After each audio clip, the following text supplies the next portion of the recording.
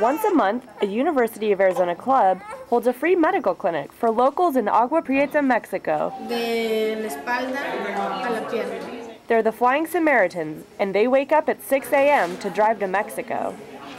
About 20 undergraduate students and a few medical professionals run this clinic.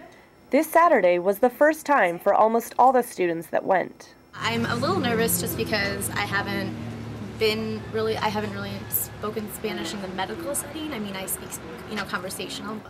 They help out wherever they're needed, and it runs similar to most other medical clinics, just on the other side of the border. Patients sign in and then wait in a room to get triaged. There, UA students check their blood pressure, temperature, heart rate, height, health history, and blood sugar for those that are possibly diabetic.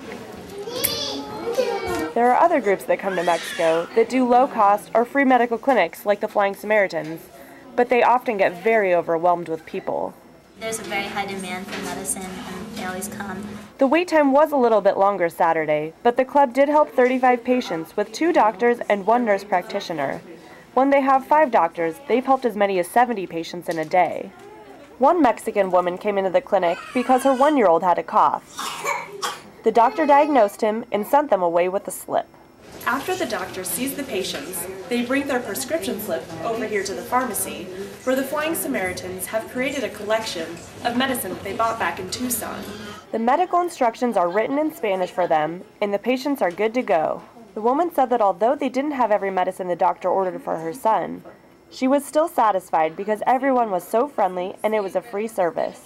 Smith says that the unique thing about the Flying Samaritans is that their students and doctors get to know what it's like to treat patients from the good of their hearts.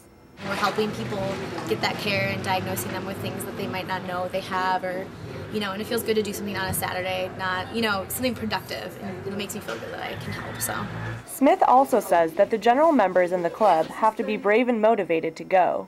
They're always looking for new students that want to help out. I'm Nikki Helms, reporting for Border Beat.